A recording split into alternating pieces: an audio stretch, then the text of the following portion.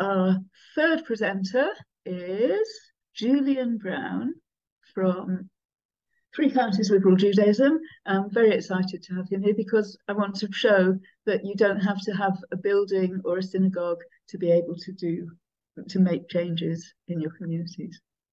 Hi everybody. So uh, yes, people seem to want, you know, we've just got initials because we've got a very long title. Uh, we're Herefordshire, Worcestershire, Gloucestershire, but we also have members in uh, Wales, in Monmouth, in Abergavenny, and far south of Gloucestershire. So very big spread, but we're a small community. I think about 160, including children. So very different from you know some of the other presentations and things that I've heard. Um, because we are such a small community, we we don't have our own uh, synagogue building. We are fortunate in having a very a positive uh, half-time rabbi, Anna Gerard. So that's a great asset because she's very committed to all kind of uh, environmental ideas. Um, we do have a base in Gloucester, which is Gloucestershire Deaf Association, who've been very kind to us and have a, a, a lovely venue with good facilities. So that that works well. And we try very hard to have events and activities and services uh, several times during the year in, in different parts of the widespread geographical area. So that's kind of a bit how we operate. Um, we set up uh, on this journey in July 2022, and I think that I originally got the idea uh, from visiting Oxford Synagogue sometime before and saw that they were involved in eco Judaism and thought that seemed a, a good thing to do. Uh, we had a very small team, just two adults and one teenager. Uh, we met monthly on Zoom. So this is really a, a, a, little a mini story of how how we've sort of developed really. Um, but it was it was quite exciting because we were both very committed and interested, and we'd actually uh, met up on a an action about the health of the River Wye in Herefordshire. So that was a good kind of bonding thing, really.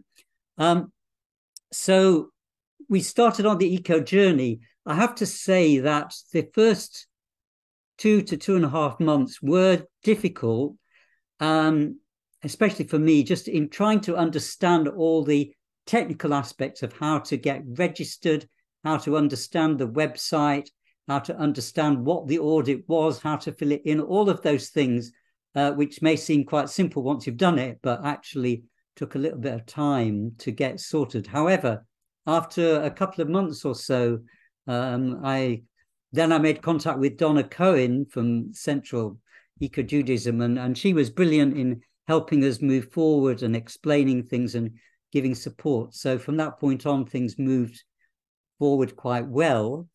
Um, I realized that obviously we had to identify what we'd already been doing and what had already been successful, if you like, because we realized that we had done quite a few things. I would say that our initially our strengths seem to be very much in um, education, in services in Cheder, in our um, fortnightly bulletin and our newsletter. So, for example, we started, um, as other communities have done, we started an eco corner with eco tips in the fortnightly bulletin, little things that individuals could do to improve their relationship with the environment.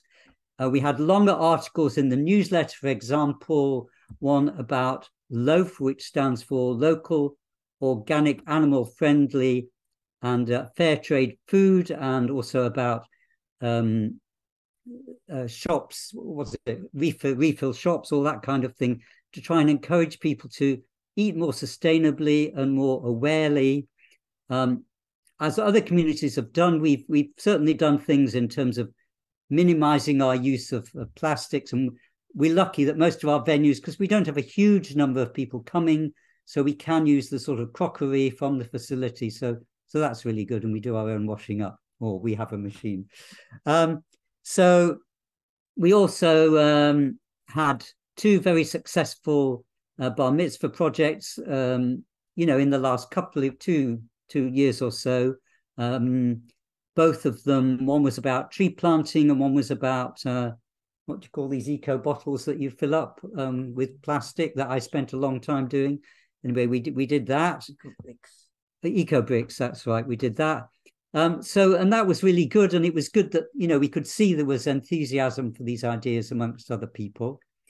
Um, so, and we also uh, began, uh, we've had a very successful Eco Shabbat a service last year, which was at the time of the COP summit. And uh, again, getting people more on board. And we've got great plans for this year's Eco Shabbat with uh, meeting up with a local co-housing community, which happens to have uh, a number of Jewish and Israeli members. And the idea is that they're going to come to our Eco Shabbat service, and then we're going to go over to the co-housing project, and they're going to show us about all the eco features and how they operate. So that will be quite quite exciting, really. Um, other things we've done, um, we recently um, so we realized one of the areas we needed to develop further was in the engagement with the community and finding out uh, what different people in the community are doing. Um, I was very interested to hear about Oxford's presentation with the ecometer. Uh, but what we've done is we did a, a, survey about gardens, growing produce, to find out how many people in the community were doing that, in what way, how many uh, had allotments or used allotments, and we've set up a contact point for anybody who wants advice in that area. So, and that's the first of, we hope, you know, other kind of similar sorts of surveys.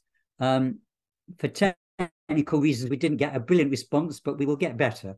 A lot of, you know, a lot of this is a learning process, but it's been, um, it's been an exciting journey. Um, one of the other things was we, it wasn't until quite close to submitting our um, for our bronze award that we realized uh, we hadn't got an eco policy in place, which had to be approved by the council.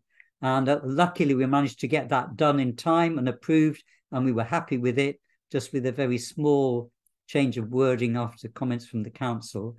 So, um, so we're really glad we got the bronze award. And in fact, we are hoping to go for silver within about six months.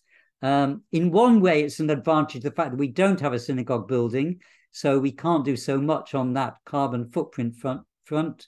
But obviously, we can try and do more in encouraging individual members. And uh, it's been really interesting to hear the presentations so far. Uh, but if anyone wants to know more about the, the first steps and the beginning process, um, do contact me, as Fiona had said. I'm happy to, to help. Thank you.